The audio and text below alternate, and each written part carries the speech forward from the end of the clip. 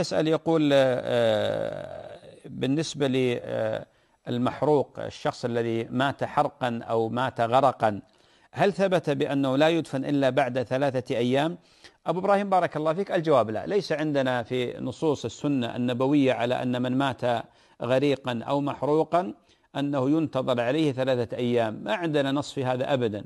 فإذا ثبت موت الغريق أو موت المحروق بيقين وهناك علامات يذكرها يعني الناس قديما والآن أصبح من السهل معرفة والتأكد من الموت فأن يدفن مباشرة لأن نصوص الشريعة لما نتأملها بالمجموع نجد أن من إكرام الميت السرعة في تغسيله وتكفينه والصلاة عليه ودفنه.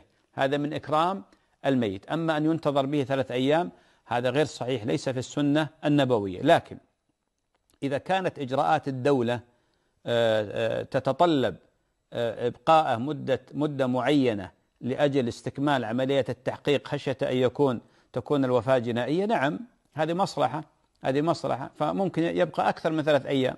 فالدولة تقول لا نبقي الجثة حتى نتأكد من أنها ليس من أن الموت طبيعي وليس جنائي. هذا باب آخر.